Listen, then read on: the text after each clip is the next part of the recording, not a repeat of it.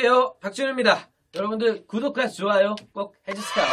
자, 오늘 배울 내용은 고구려와 백제를 넘어서 가장 동남 쪽에 치우쳐 있었던 신라라고 하는 나라가 어떻게 발전했는지 알아볼 텐데요. 오늘 주목해야 될 점은 고구려와 백제와는 다르게 신라는 어떤 모습을 보였는지 원인과 그 과정을 알아보는 것이 가장 중요하겠습니다.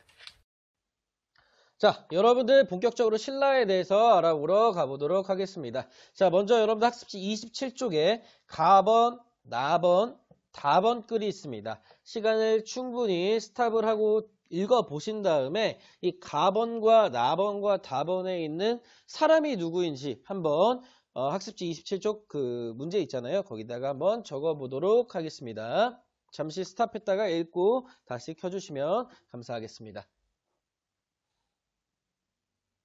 네, 여러분들 잘 읽어보셨나요? 가번과 나번과 다번의 중심인물이 한 명씩 있습니다. 자, 가번글 같은 경우에는 신라의 시조인 박혁거세라고 하는 사람에 대해서 나와 있는 것으로 판단이 되고요. 어, 백제나 고구려의 신화와 같이 마찬가지로 굉장히 그 신적인 모습들이 나타나 있는 걸 알 수가 있습니다.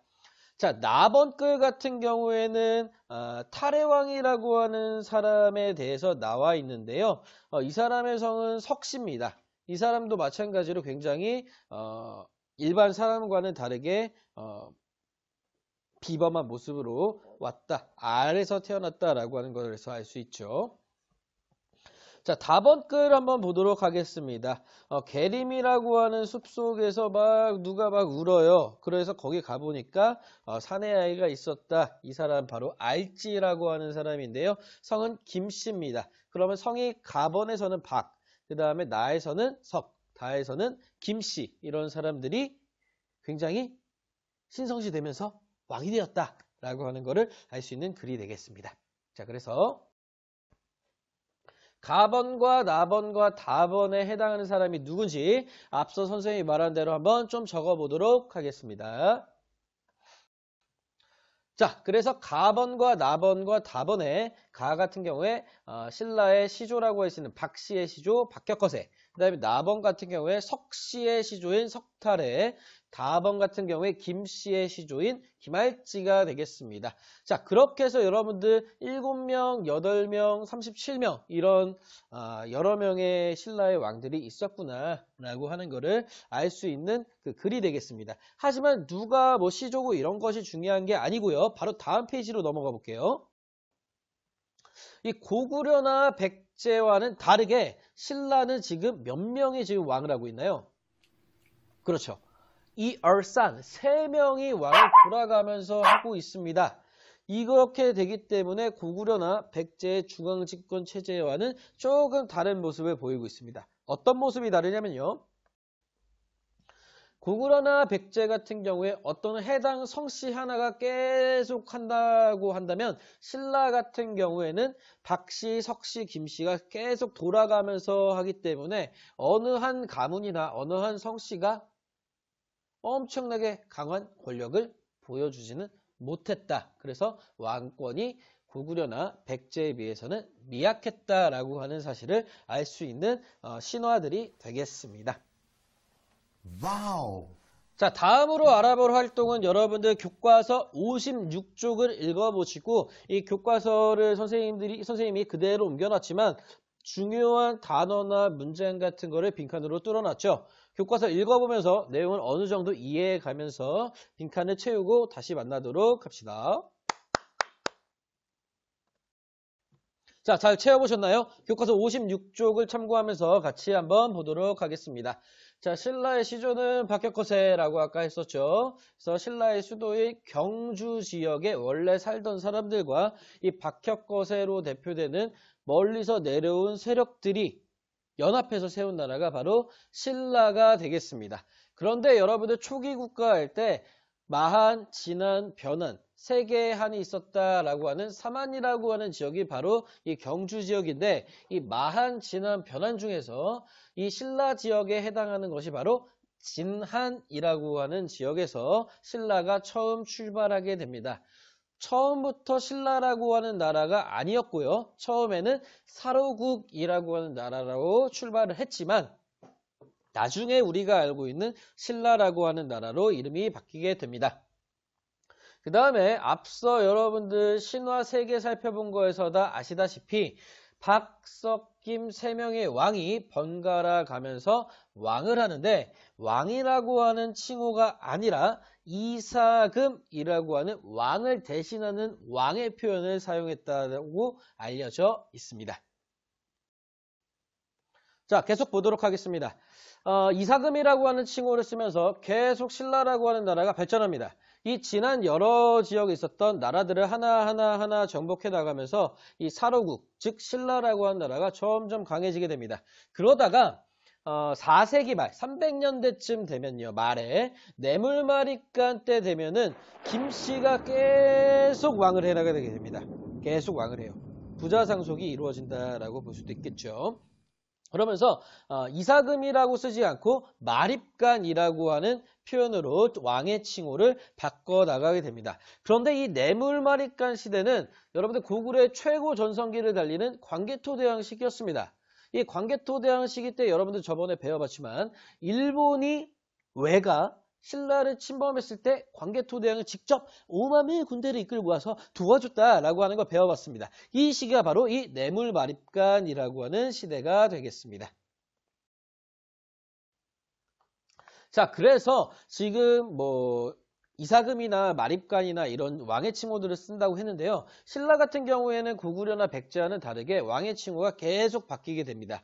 최종적으로 왕이라고 되지만 처음에는 거서간이라고 사용했는데요. 거서간이라고 하는 뜻은 끝에 간자가 있잖아요. 여러분들 그 몽골이라고 하는 나라 보면요. 아, 그 추장을 칸이라고 합니다.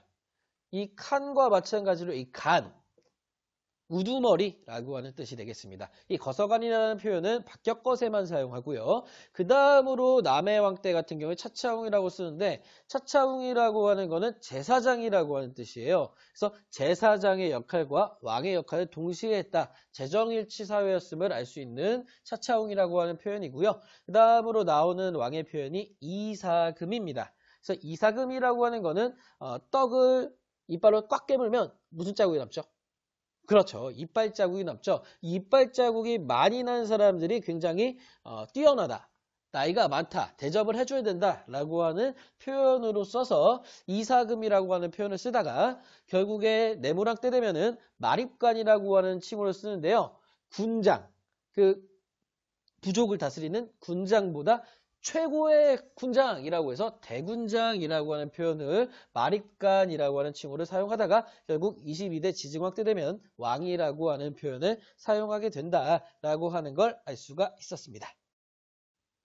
자, 그렇게 해서 선생님이 지금 한 1분 30초 동안 이 신라의 왕후 변천 과정을 말을 해줬는데요.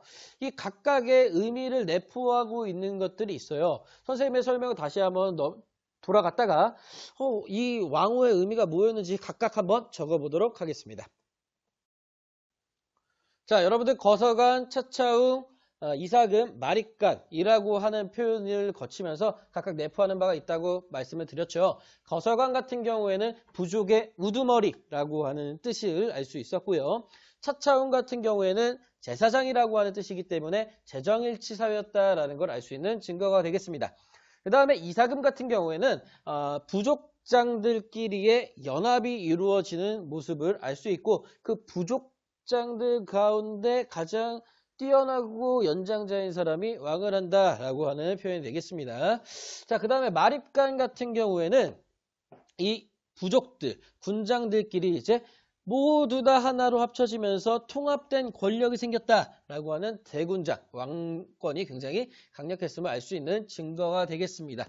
그 다음으로 마지막으로 왕이라고 하는 표현 자체가 어디 나라 거죠? 그렇죠. 중국 거죠. 중국의 문화를 받아들이기 시작했음을 알 수 있는 증거까지 되겠습니다. 그래서 여러분들 거서관, 차차웅, 이사금, 마립관, 왕 이 각 순서를 여러분들 잘 알아놓으시면 좋을 것 같습니다. 다음으로 넘어가시죠. 자, 다음으로는 교과서 57쪽을 통해서 어, 신라가 어떻게 체제 정비를 하고 있는지 빈칸을 한번 채워보면서 넘어가도록 하겠습니다. 빈칸 채우고 음 하나요. 자, 먼저 여러분들 앞서 처음에 선생님이 설명했다시피 한반도 동남쪽에 치우쳐져 있던 신라였기 때문에 이 중국과 교역을 하기 위해서는 산맥 넘어야 되고 강 건너가야 되고 백제 건너가야 되고 거구려 건너가야 되고 너무 멀어요. 그래서 어, 선진적인 문화를 갖고 있었던 어, 중국과의 교역하기에는 굉장히 늦었다, 멀었기 때문에 이런 점 아까 얘기를 해드렸고요.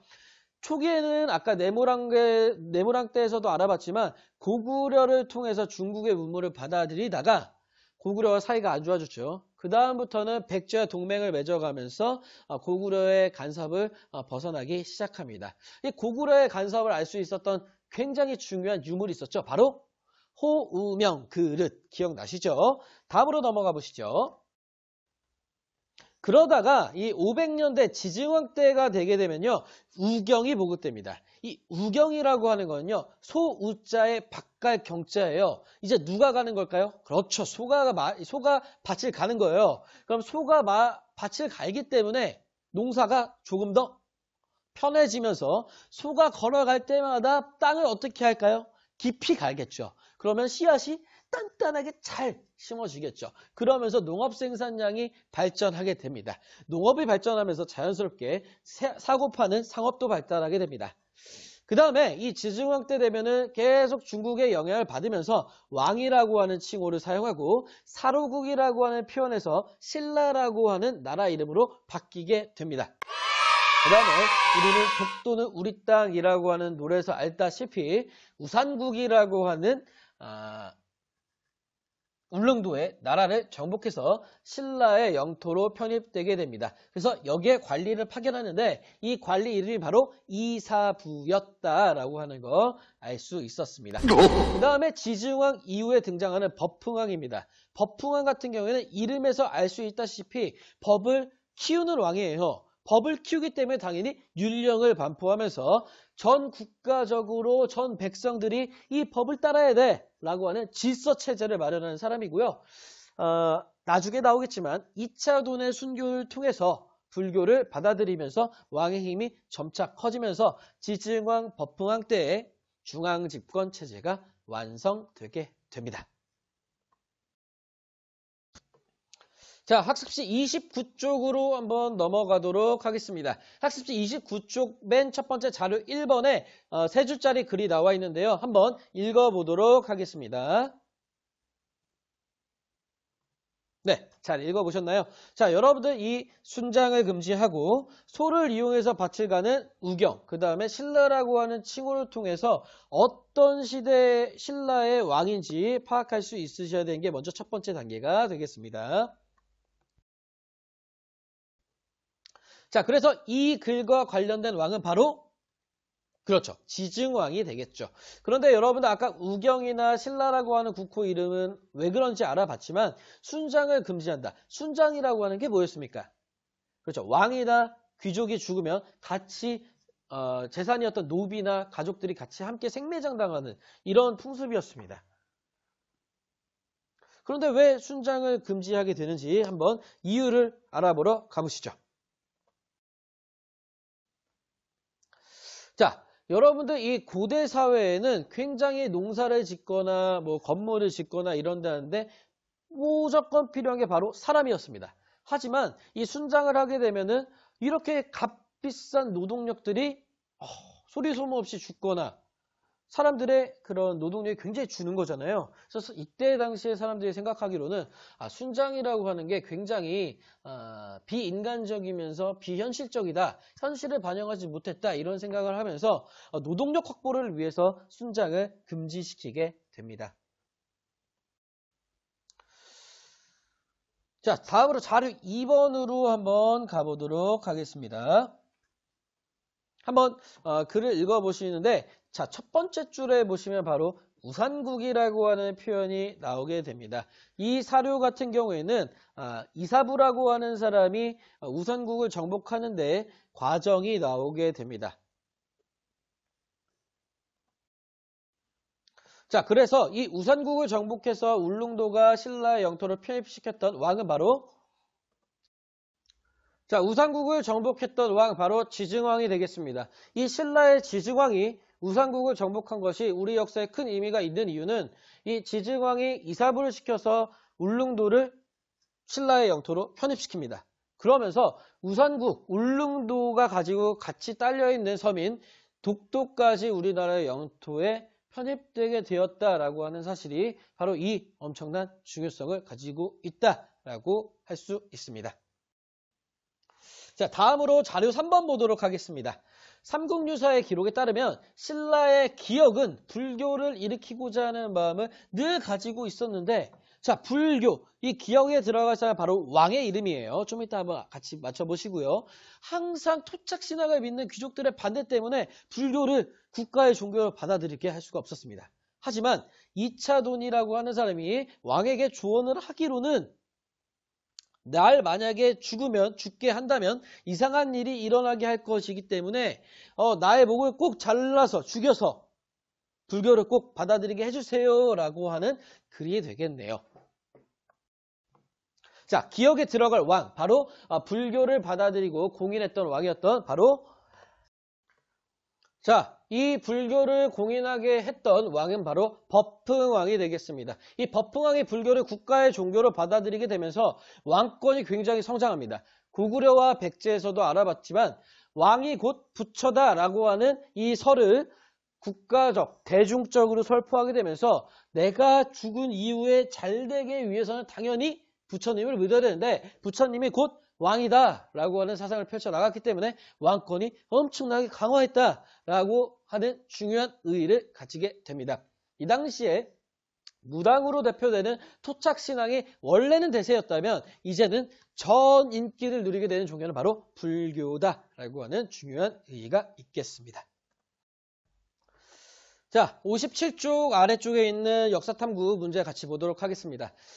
자, 신라가 중앙집권 체제를 결국 완성시킨 왕은 바로 법흥왕입니다. 법흥왕이 왼쪽에 보시면 여섯 가지 정책들을 하게 됐는데요. 관등제, 관복제, 나라의 연호 사용, 그 다음에 각종 관직을 만들고 부서를 설치하고 영토를 확장시키는 이런 노력들을 했습니다. 하지만 이 신라의 중앙집권 체제를 완성시키는데 가장 중요한 사실 두 가지의 중점을 먼저 살펴보도록 하겠습니다.